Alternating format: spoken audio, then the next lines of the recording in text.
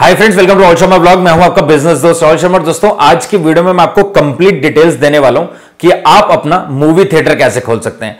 आप में से काफ़ी सारे लोग मूवीज़ देखने के शौकीन होंगे, लेकिन मूवीज़ का सही एक्सपीरियंस थिएटर में जाकर मिलता है और इंडिया में मूवीज़ के बहुत ज़्यादा लोग शौकीन है एंड बहुत सारे लोग फ़र्स्ट डे फ़र्स्ट शो देखना पसंद करते हैं मूवीज़ के रिलीज़ के बाद। एंड इंडिया में आज के डेट में अगर देखा जाए तो मूवी थिएटर्स का ट्रेंड बहुत ज़्यादा है। लोग मूवी थिएटर्स में जाकर मूवी देखना बहुत ज़्यादा पसंद कर रहे हैं। इसीलिए इस बिज़नेस को शुरू करके आप अच्छा पैसा कमा सकते हैं लॉन्ग टाइम तक पैसा कमा सकते हैं। क्योंकि मूवीज़ बनती रहेंगी ब्लॉकबस्टर होती रहेंगी एंड अगर आपने अपना कोई थिएटर खोला हुआ है तो आप उससे अच्छा पैसा कमा सकते हैं। बहुत सारे लोगों को लगता है कि थिएटर्स ओपन करने के बाद हम सिर्फ़ एक तरीके से या दो तरीके से पैसा कमा सकते हैं। मैं आपको बता रहा हूँ, एक मूवी थिएटर से आप मोर देन फाइव मेथड से पैसा कमा सकते हैं। पाँच से भी ज़्यादा तरीके हैं जिनसे आप पैसा कमा सकते हैं। इनफैक्ट दोस्तों थिएटर अलग अलग तरीके के होते हैं। आप मिनीप्लेक्स खोल सकते हैं मल्टीप्लेक्स खोल सकते हैं, आप मेगाप्लेक्स खोल सकते हैं, या फिर आप open air drive in theatre खोल सकते हैं। मैं सबके बारे में बात तो नहीं करने वाला हूँ बट मैं आपको शॉर्ट पार्ट में बताऊँगा कि कौन सा थिएटर किस तरीके का होता है और कौन सा आपको खोलना चाहिए। अगर आप एक बिज़नेस की शुरुआत करना चाहते हैं एंड इस 2023 में एक अच्छा प्रॉफिटेबल बिज़नेस शुरू करना चाहते हैं।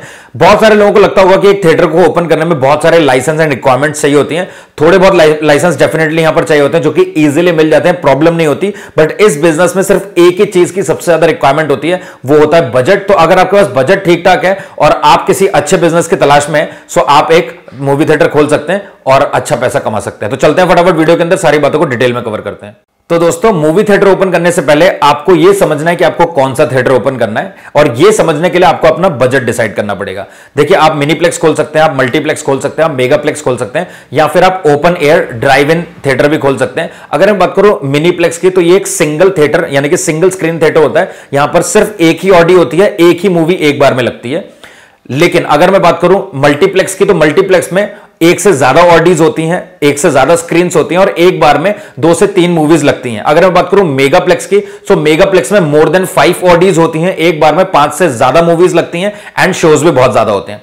इसके अलावा अगर मैं बात करूँ open air drive in theatre की सो ये थिएटर में जो एरिया स्क्वायर फीट है, इसकी रिक्वायरमेंट बहुत ज़्यादा होती है, क्योंकि यहाँ पर 200 से टू हंड्रेड प्लस गाड़ियाँ खड़ी करने की जगह होनी चाहिए, क्योंकि बेसिकली ये थिएटर किस तरीके से होते हैं ओपन एयर से आप समझ गए होंगे ऊपर रूफ टॉप नहीं होती छत नहीं होती खुले मैदान में एक बड़ी सी स्क्रीन लगी होती है स्पीकर्स लगे होते हैं एंड रिफ्रेशमेंट एरिया होता है। लोग बस अपनी गाड़ियाँ लेकर आते हैं गाड़ी पार्क करते हैं लोकेशंस पे एंड उसके बाद वो स्क्रीन सामने लगी होती है अपनी गाड़ी में बैठकर या फिर अपनी गाड़ी के बाहर कारपेट्स लगे होते हैं ग्रास लगी होती है वहाँ पर बैठकर वो सिंपल मूवी को एंजॉय करते हैं। सो so, ये बड़ी बड़ी सिटीज़ में ओपन हो रहे हैं अभी और अच्छा रिस्पॉन्स और अच्छा क्राउड यहाँ पर भी देखने को मिलता है। बट अगर आपके पास बजट थोड़ा कम है सो आप यहाँ पर open air drive in theatre की तरफ़ बिल्कुल मत जाइए मेगाप्लेक्स की तरफ़ मत जाइए मल्टीप्लेक्स की तरफ़ मत जाइए। आप सिंपली छोटे से शुरुआत कर सकते हैं, आप सिंगल स्क्रीन थिएटर खोल सकते हैं, जिसको हम मिनीप्लेक्स के नाम से जानते हैं।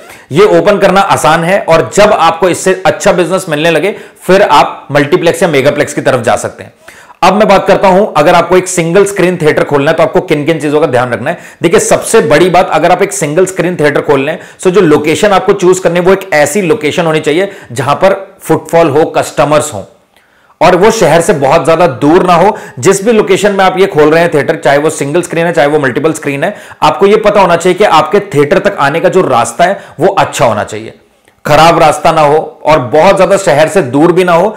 और एक चीज़ और मैं यहाँ पर आपको बताना चाहता हूँ, देखिए थिएटर में मूवी देखने लोकल एरिया के लोग आते हैं। तो आपके लोकल एरिया में जहाँ भी आप मूवी थिएटर खोल रहे हैं, वहाँ पर बहुत ज़्यादा कंपटीशन नहीं होना चाहिए। अगर लिमिटेड कंपटीशन है तो यह बिज़नेस आपके लिए डेफिनेटली एक अच्छा बिज़नेस हो सकता है। और एक चीज़ वहाँ पर आपको देखनी होती है कि वहाँ पर कम से कम भी पचास से साठ हज़ार लोगों की पॉपुलेशन होनी चाहिए, ताकि वो आपके थिएटर में आए और आपका काम चलने की संभावना बढ़ जाए।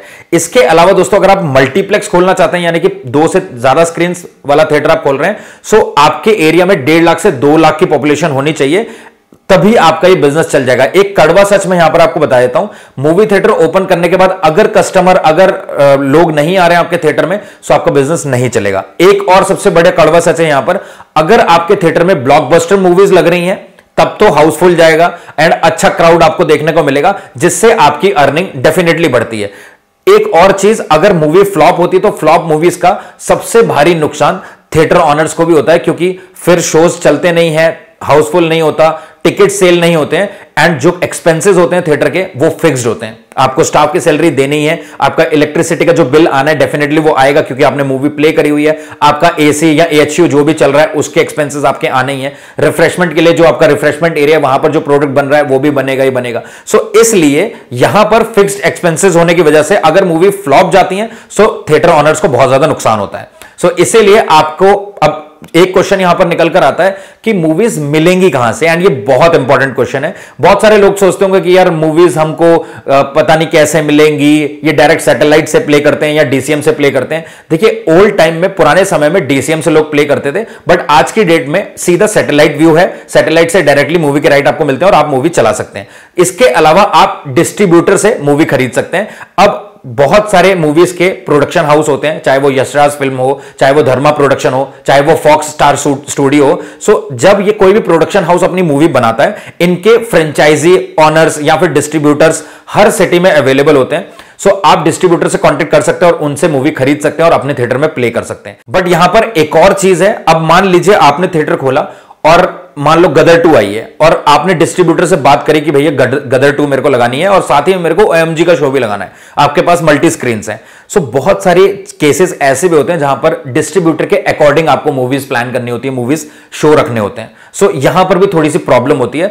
एक कड़वा सच और मैं यहाँ पर आपको बता देना चाहता हूँ। देखो मेरा काम है आपको बिजनेसेस के बारे में बताना उसके अच्छे और बुरे दोनों बातों को रखना आपके सामने।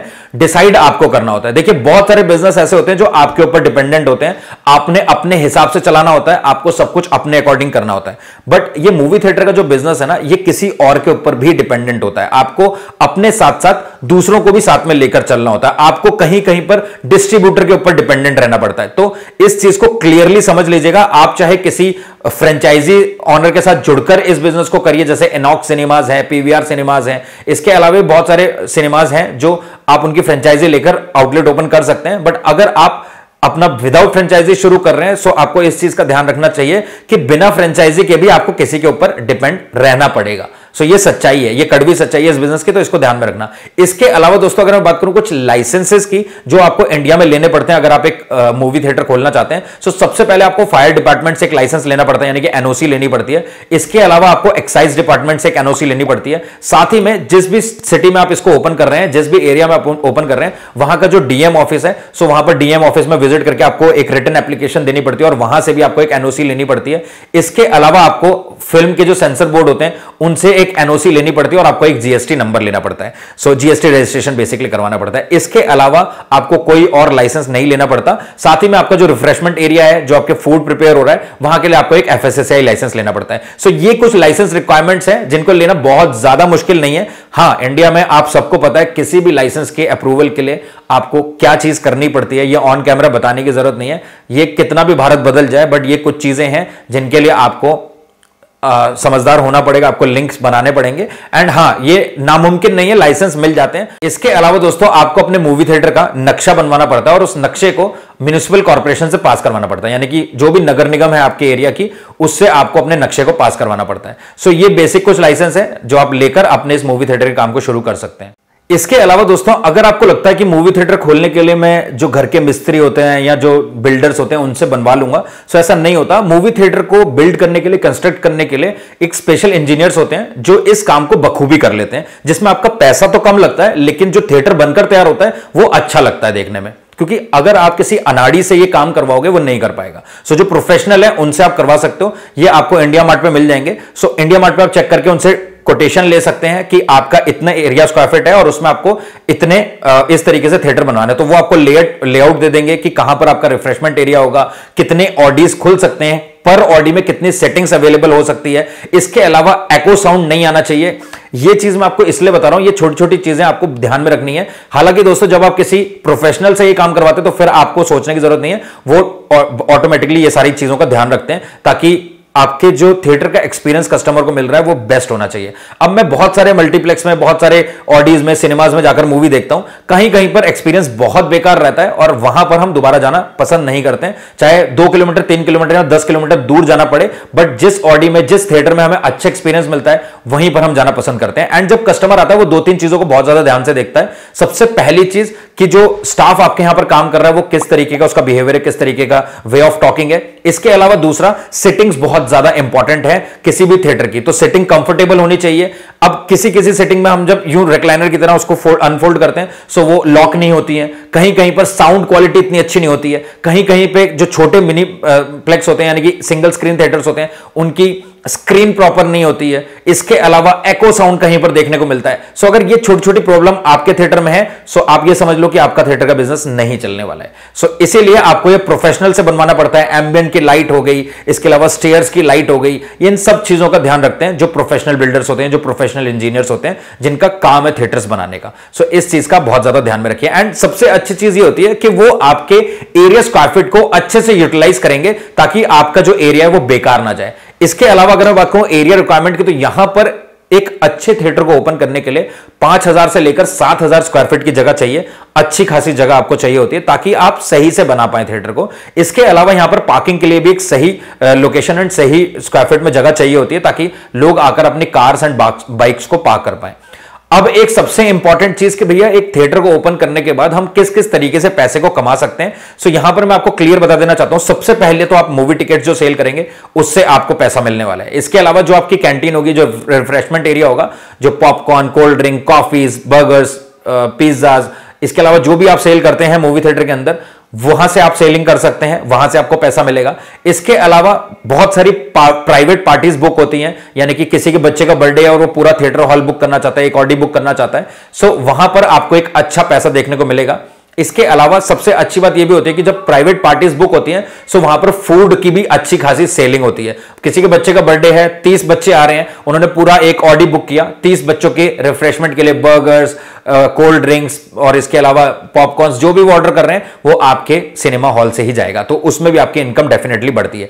इसके अलावा जो भी थिएटर में आप मूवी प्ले करने से पहले एडवर्टीजमेंट चलाएँगे, उस एडवर्टीजमेंट से भी आपको एक अच्छा रेवेन्यू देखने को मिलेगा अच्छा इनकम उससे भी आपका होता है। तो आप कभी भी किसी भी थिएटर में जाओ, कोई ऐसा थिएटर नहीं होगा जहाँ पर एडवर्टीजमेंट नहीं होगा। आपकी नौ बजे की मूवी है सो वो नौ बज के पंद्रह मिनट पर स्टार्ट होगी। और इसके अलावा जब इंटरमिशन होता है, तब भी आपको बहुत सारे एडवर्टीजमेंट देखने को मिलते हैं। सो ये कंपनीज़ जो एडवर्टाइज करवाती हैं, वो एक अच्छा खासा अमाउंट सिनेमा हॉल्स को पे करती हैं। तो दोस्तों, अब हम बात कर लेते हैं कि ये सारे काम करने में आपका इन्वेस्टमेंट कितना लगने वाला है। देखिए, मैं सिंपल सी बात आपको बता दूँ, अगर आप एक सिंगल स्क्रीन थिएटर ओपन करना चाहते हो तो आपके 70 लाख से 80 लाख के आसपास का इन्वेस्टमेंट आपका लगेगा।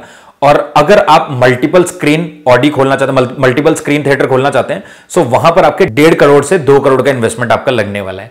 जी हाँ ये बिल्कुल बहुत ज़्यादा इन्वेस्टमेंट है बट यहाँ पर अर्निंग्स भी बहुत ज़्यादा है। अगर आप खोलते हैं सही तरीके से और सही तरीके से चलाते हैं अपने थिएटर को सो आप यहाँ से अच्छा पैसा कमा सकते हैं लॉन्ग टाइम तक कमा सकते हैं, क्योंकि ये कभी बंद होने वाला बिज़नेस नहीं है। मूवीज़ आएँगी और मूवीज़ चलेंगी ब्लॉकबस्टर होंगे और आपको अच्छा पैसा कमा कर देंगी। सो so बेसिकली आप यहाँ पर तीन तरीके की मूवीज़ रख सकते हैं हॉलीवुड बॉलीवुड और ट्रॉलीवुड क्योंकि इंडिया में यही तीन मूवीज़ सबसे ज़्यादा देखी जाती हैं और साउथ की मूवीज़ होती हैं उनका एक अलग ही फ़ैन फॉलोइंग्स होती है। एंड आप चाहे बाहुबली को देख लो चाहे आप साहू नाम की मूवी आई थी लास्ट ईयर उसने भी बहुत अच्छा हंड्रेड प्लस करोड़ का बिज़नेस उसने किया था। सो so, साउथ की मूवीज़ बॉलीवुड की मूवीज़ और हॉलीवुड की मूवीज़ अच्छी मूवीज़ कोई भी कहीं भी किसी भी सेक्टर से आ रही हो आपको वो अच्छा पैसा कमा कर दे सकती है। तो इस चीज़ का बहुत ज़्यादा ध्यान रखिए। तो दोस्तों आज की वीडियो में सिर्फ़ इतना ही। उम्मीद करता हूँ आपको वीडियो में कुछ ना कुछ अच्छा ज़रूर लगा होगा। और अगर आज आपके पास इतना बजट नहीं है सो आप प्लान करो कुछ बड़ा ही और सोचते रहो कुछ बड़ा ही। डेफिनेटली आप किसी दिन छोटे से बिजनेसेस को कर करके एक बड़ा बिज़नेस ज़रूर कर पाएँगे और एक बड़ा साम्राज्य अपना खुद बना पाएँगे। सो कभी भी ये मत सोचना कि मेरे को फैमिली से ये सपोर्ट नहीं है, मेरे को फैमिली से ये नहीं मिल पा रहा है, मेरे पेरेंट्स अगर अमीर होते तो आज शायद मैं एक अच्छा बिज़नेस कर पाता, नहीं। आपके पास जितना बजट है, आप उतने से सोचना शुरू करो। मैं आज आपको, मैं अपनी पुरानी वीडियोस में भी ये चीज़ कह चुका हूँ कि अगर आपके जेब में एक लाख रुपए है ना, आप सोचना शुरू करो कि एक लाख में कौन कौन से धंधे कर सकता हूँ। आपको दसियों बिज़नेस मिल जाएँगे, जो आप एक लाख के अंदर शुरू कर सकते हैं। अगर आपके अकाउंट में दस लाख रुपए हैं तो आप ये सोचना शुरू करो कि आप दस लाख में क्या बिज़नेस कर सकते हैं। क्योंकि जितना इन्वेस्ट करोगे, उतना जल्दी, उतना ज़्यादा आप कमा पाओगे। छोटे से बिज़नेस को आपको धीरे धीरे धीरे धीरे बड़ा करना पड़ता है और ये थोड़ा सा टाइम लेता है। लेकिन अगर आपके पास बजट है, आप बजट लगा सकते हैं सो डेफिनेटली आप एक बड़े बिज़नेस की तरफ़ जा सकते हैं। बट अगर आपके पास बजट नहीं है तो फिर आपको बहुत बड़ा बड़ा सोचने का कोई फ़ायदा नहीं है, क्योंकि आप बड़ा सोच सकते हो बट आपको करना छोटे से ही पड़ेगा। ये कड़वा सच है। आप अगर लोन लेते हो, आप अपने रिश्तेदारों से पैसा लेते हो तो ये एक बर्डन है जो आपके सीने पे हमेशा बना रहेगा और आपको दबाता रहेगा। तो आप अपना 100 परसेंट अपने बिज़नेस पे नहीं दे पाओगे, जिसकी वजह से बिज़नेस डाउनफॉल में जाते हैं, नुकसान होने लगता है। सो इसीलिए जितना है, उतने शुरू करो। बिज़नेस करने में बहुत मज़ा आएगा। सो दोस्तों, आज की वीडियो में सिर्फ़ इतना ही। अगर आपको वीडियो थोड़ी बहुत भी पसंद आई तो प्लीज़ वीडियो को लाइक करके चैनल को सब्सक्राइब ज़रूर करेगा मिलते हैं दोस्तों अगली एक प्रॉफिटेबल बिज़नेस वीडियो में। तब तक के लिए जय हिंद, जय भारत।